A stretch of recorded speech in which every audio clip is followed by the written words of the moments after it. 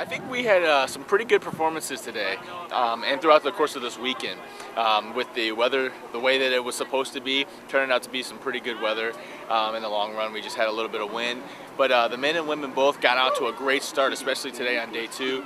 Women were uh, came into day two in the lead, um, so we were really excited about that. And we got the ball rolling right away with uh, some great performances by our sprinters and in the steeplechase, some points that uh, we weren't necessarily expected to get. We got, so we're really happy about that. Um, we just couldn't keep it going uh, the rest of the way. So, but overall, I think uh, we had some great performances by some great people, uh, some very promising things for the future that I'm really excited about on both sides.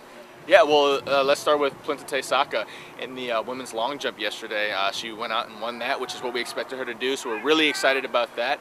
And then we also had Miriam Wood come and get second place in the triple jump.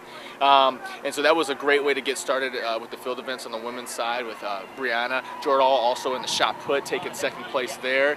Um, and then we also had uh, on the men's side, Johnny DeHaan went out and won the pole vault. And so we're really excited about what's going to happen with him and, and kind of the progress he's going to make. You know, Everybody here is young. Um, she's only a sophomore. Miriam Woods, only a sophomore. Johnny DeHaan's only a freshman. Uh, so that was really great. But then when you get on the track and you start looking at the talent we have there, young as well. Um, Caleb Anthony in the men's 100, 110 hurdles uh, went out and won that thing. Uh, didn't necessarily have the best race possible in the 400 meter hurdles, but he fought tooth and nail for every last inch. Um, and he's only a freshman. Miriam Wood came back. She won the 400 meter dash.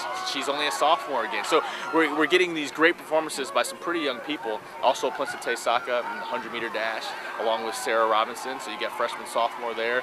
Uh, we were just really excited because we have a lot of young talent and so we just look to continue to beef up this program and uh, see where it takes us. You know, in our middle distances and our distance races, we also had some good performances. Uh, Rachel Blagg came and stepped up in that 800. Uh, she did very well in the 1500 as well. Um, and the men, Matt Hall, an amazing 5K race today uh, towards the end of the meet. And so we're really excited about that. And also Mitchell Harrington uh, had some great performances in the, the jav by winning that thing. So, you know, I think we had a lot of people with excellent uh, competition. We just didn't have the depth that we needed to kind of put together a run for the title. Um, but, you know, I think that's coming here in the very near future, so we're excited.